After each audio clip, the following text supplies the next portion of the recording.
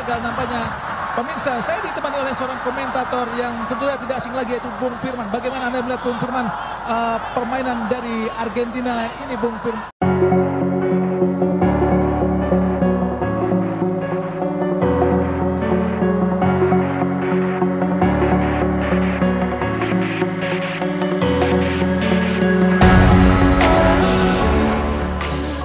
Shin Tae-yong kembali memperlihatkan tuahnya.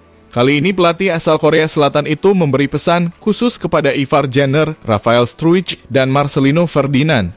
Pesan khusus itu disampaikan Shin saat pertandingan timnas Indonesia lawan Argentina sedang berlangsung di Stadion Utama Gelora Bung Karno, Senayan, Jakarta, Senin 19 Juni.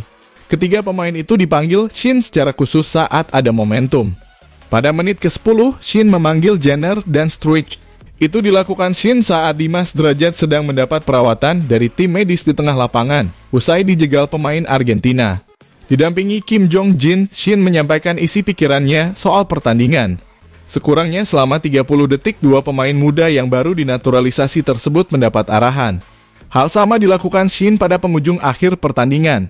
Dalam situasi sudah tertinggal 0-2, Shin memanggil Marcelino ke pinggir laga.